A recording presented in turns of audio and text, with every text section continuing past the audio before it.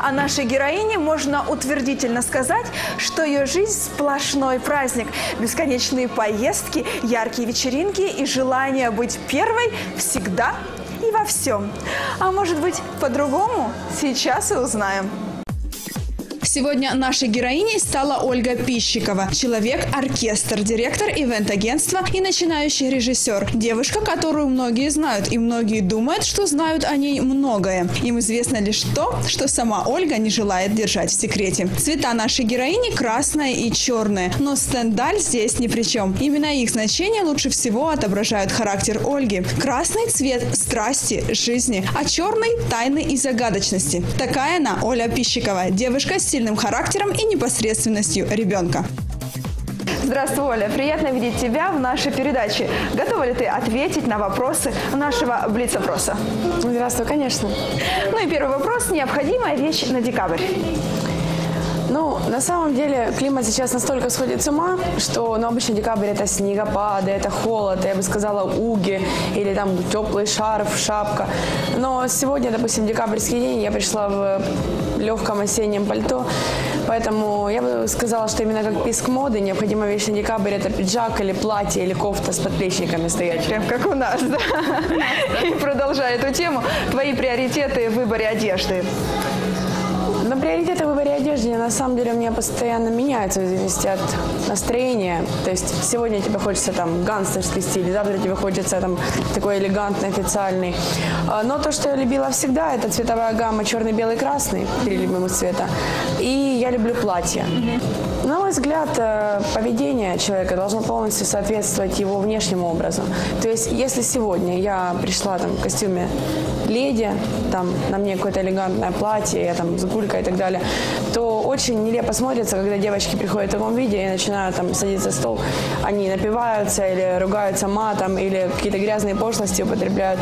То есть это может быть уместно, когда они одеты в рваные джинсы, майки, там какие-то лохматые волосы, но это должно как-то соответствовать всегда внешность внутренности, тогда это смотрится гармонично. Угу.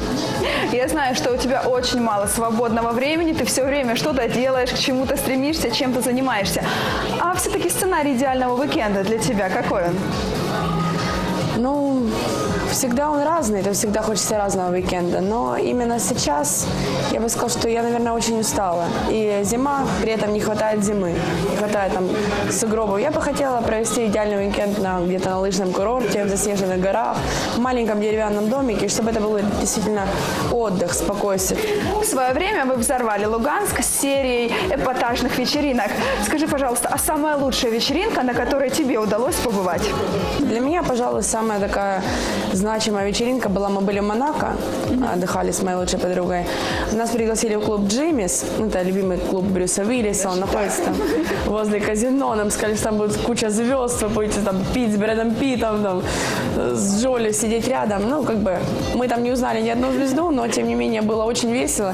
И само осознание того, что здесь и знаменитые, просто мы их не знаем, оно как-то ну, было достаточно экзотично, то есть такое не каждый день бывает. Mm-hmm. Поэтому это произвело впечатление. Что на тебе было одето тогда? Ох, на мне было одето красное платье, ага. которое я сама нарисовала, мне его пошили. Угу. По колено, с разрезиком, ну, на бретельках. Оль, давай поговорим немного о внутреннем содержании, о духовном мире. Какая книга из последних прочитанных произвела на тебя неизгладимое впечатление?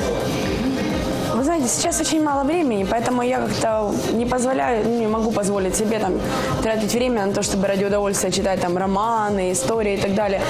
Я больше люблю читать э, книги, которые, ну, как учебник, чему-то учат, там, Карнеги, Роберт Грин, там, 24 закона обольщения, 48 законов власти, э, ну, вся, там, психологические, там, 20 способов укротить мужчину, ну, все равно это как бы больше чему-то учит, чем просто роман.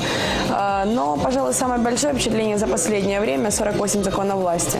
Очень цинично написано, но я понимаю, что в этом реально правда. Под какую музыку ты собираешься на вечеринку или подбираешь для себя э, наряд? Есть такое? Или это не важно, какая музыка?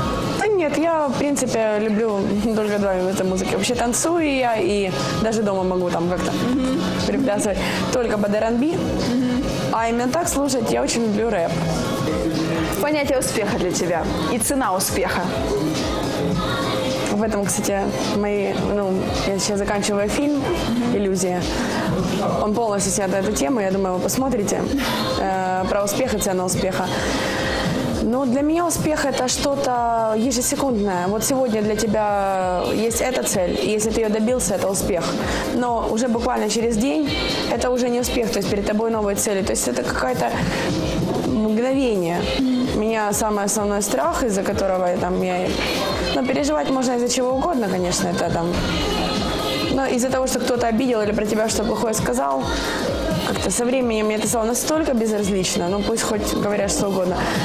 Но вот именно вот этот страх не успеть чего-то в жизни, того, что время очень быстро идет, и ты как будто бы не улавливаешь чего-то самого главного, вот такие моменты мне становится грустно, когда задумываюсь об этом. Ясно. А что воодушевляет? Заставляет двигаться дальше, радоваться жизни?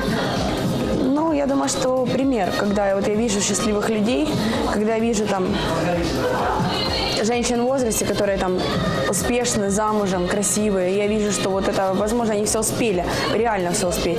Очень воодушевляет, конечно, когда я смотрю на своих родителей, потому что у них, по моему мнению, там идеальная жизнь. Они мало того, что любят друг друга, они лучшие друзья, и им там по 50 с чем-то лет, но они могут со своими друзьями точно так же там дурачиться, прыгать в бассейн, наряжаться в костюмы, там, делать кому-то сюрпризы. И я понимаю, что это реально. И вот, если у меня есть такой пример, то есть совсем под боком, то, может быть, я все успею, будет так же.